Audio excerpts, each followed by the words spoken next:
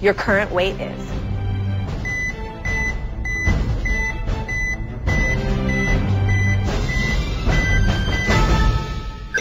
Woo! Yeah! Yes!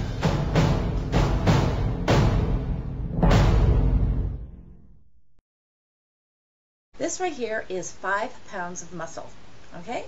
This here is five pounds of fat.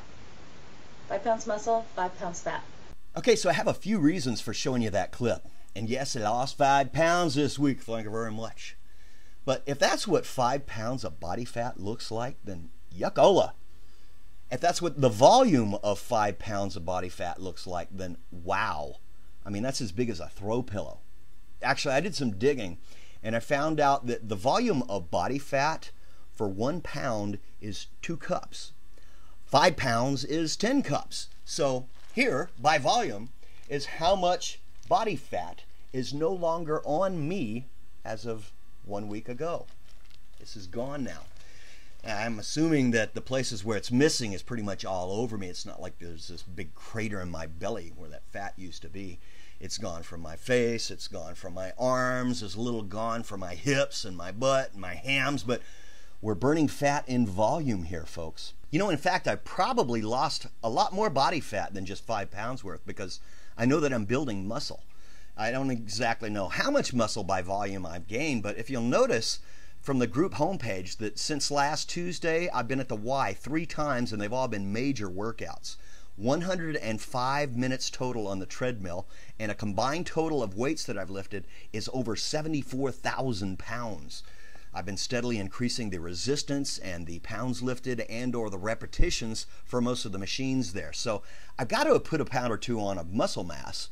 And you know, I'm not a big math guy, but if I've gained a couple of pounds of muscle and I've lost five pounds overall, then I probably lost maybe seven pounds of body fat.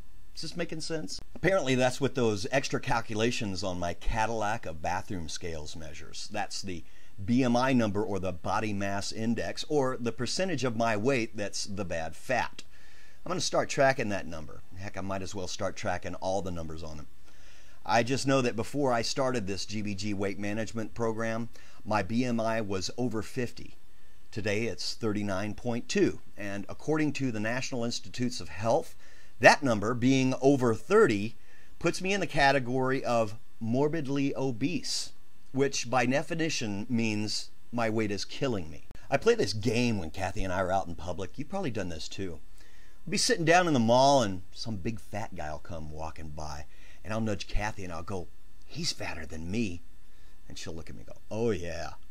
Well, people, you know what I look like. Look at me and ask yourself, am I fatter than him? Some of you are.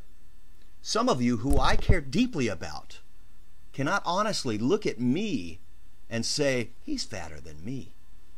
On Friday, I'm going to have a very special message for you and others. It's something you really need to hear. So look for my next video this Friday. Be there.